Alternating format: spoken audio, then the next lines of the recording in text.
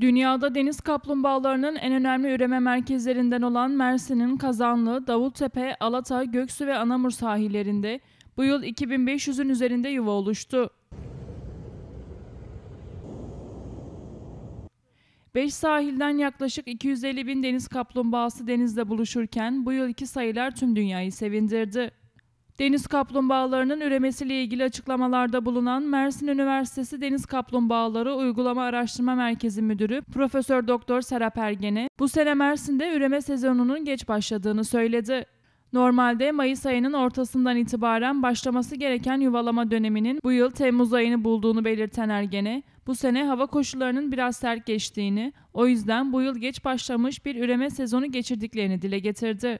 Bu sezon Mersin'de üreme dönemi biraz geç başladı. Temmuz başını buldu e, üreme dönemi. Normal koşullarda aslında Mayıs'ın ortasından itibaren deniz kaplumbağalarının dişileri e, karaya çıkıp yuva yapmaya başlarlardı. Ama bu sene hava koşulları biraz daha e, sert geçti. Haziran ayında e, çıkışlar çok azdı.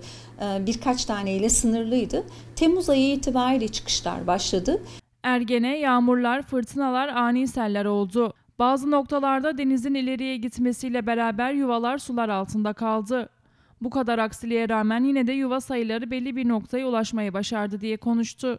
Tabii e, bu sene enteresan bir e, yıl geçiriyoruz. Yağmurlar, fırtınalar, ani bastıran yağmurlar, ani bastıran soğuklar falan oldu. İlginç bir dönem oldu. E, yağışların hızlı bastırmasıyla beraber bazı yuvalar da sıkıştı yavru kaplumbağalar. Çünkü kumu sıkıştırıyor yağışla beraber. Denizin ilerlemesiyle beraber bazı yuvalar su altında kaldı. Buna rağmen yine de tabii ki belli bir sayıya ulaşmayı başardı e, yuva sayıları. 5 alanda e, yaklaşık olarak e, 2500 ile 3000 arasında yuva sayısı değişir. Bu senede yaklaşık e, 2500 civarında olduğunu tahmin ediyoruz.